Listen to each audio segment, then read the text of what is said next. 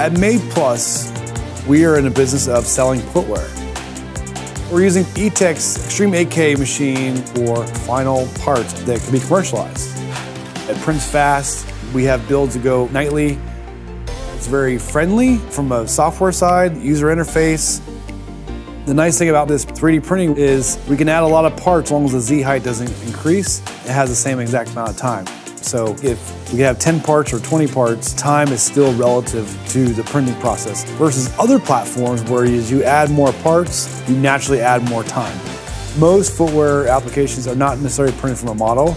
They may be cut, sewn, stick, glued, scuffed, roughed to get that final shape. But we're coming out of the printer, doing some light post-processing from the build application itself, and we're naturally rolling right into a final part. It does allow us to scale fast, allows us to produce fast, and allows us to make changes fast.